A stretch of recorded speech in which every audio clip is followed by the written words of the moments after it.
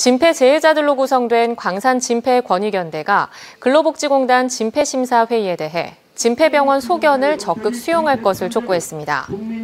광산 진폐 권익연대는 오늘 근로복지공단 태백병원 앞에서 집회를 열고 진폐 재해자 40명이 진폐병원 소견에 따라 재해 판정을 신청했지만 진폐 심사회의에서는 의증이나 정상으로 판정하는 등 엉터리 판정을 하고 있다고 비판했습니다.